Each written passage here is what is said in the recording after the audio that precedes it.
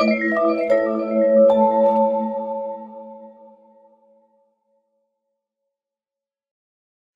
Hi, this is Jon Galloway from Microsoft. We're continuing our look at ASP.NET Web API. In the last screencast, we looked at retrieving information from the server using an HTTP GET request. In this screencast, we're going to take that further by posting new comments back to the server and deleting existing comments.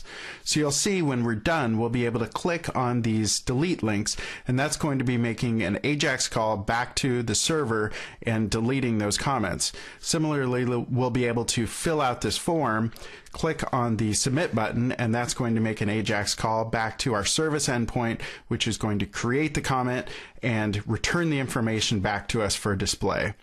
So let's take a look at how this works back on the server. We're continuing to work in our comments controller, which builds off an API controller base class. And since delete by ID is very similar to get by ID, we're going to just copy and update that method. So the first step is renaming to delete, and that's going to automatically, by convention, map to the delete HTTP verb. So the only real difference here is that when we've retrieved our comment, then we need to delete that. We'll just call into our repository's delete by ID method. And again, as we did with get, if the if we didn't find the comment by ID, we need to return that HTTP status code not found. So now let's move on to the create example. And we're taking advantage of two things in ASP.NET Web API. First is model binding.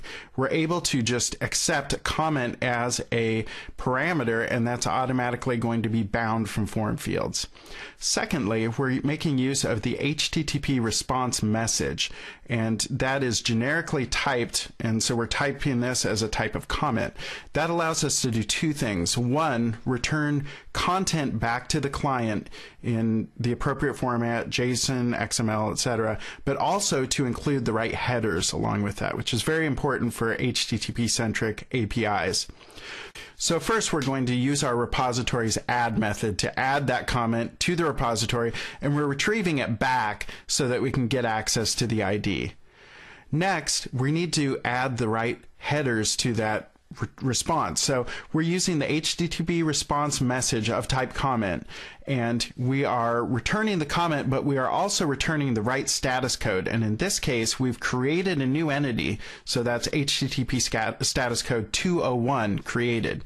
So this is an important feature of ASP.NET Web APIs. It makes it very easy to return the right HTTP status codes, do the right thing by default.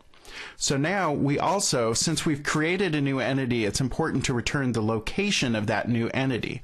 So we're creating a response header pointing to that location.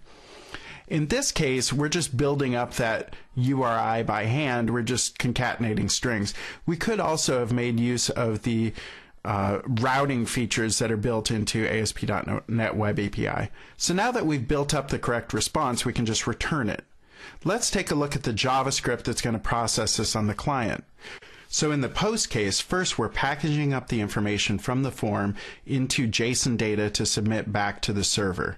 Then we're sending that to the correct URL of type post, so that's going to create new information. And if the server returns an HTTP 201, remember that's created, then we'll know that our request to create this new comment has succeeded. Now for the delete case, first we get the ID, then we are going to call back into the correct URL with the delete HTTP verb, and if we receive an HTTP 201 from the server, that means that our request has completed satisfactorily and the comment has been deleted. Then we know to update our display and remove that comment. Now, one good reason that our request to delete a comment by ID might fail is if that request ID is not found. And you'll see that our delete by ID is returning that status code, so we could handle that on our client if we wanted. So now let's take a look at this in action. We'll look at the IE developer tools by using F12. We're going to start monitoring our network traffic. And when we click on these delete requests, we'll see that we're using an HTTP delete verb and we're getting back an HTTP 200 OK message or response message after deleting them. So now we'll create a new comment.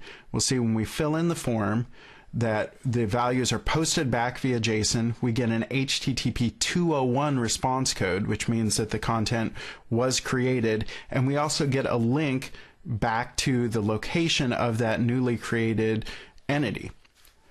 So that wraps up our look at creating and deleting content using ASP.NET Web API. In the next screencast, we'll look at advanced querying, including paging and OData support. Música